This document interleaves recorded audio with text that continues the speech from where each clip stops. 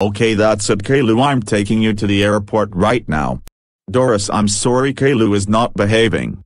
He needs to go home.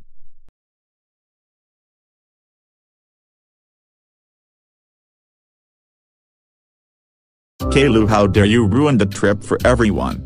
That's it you are grounded grounded grounded.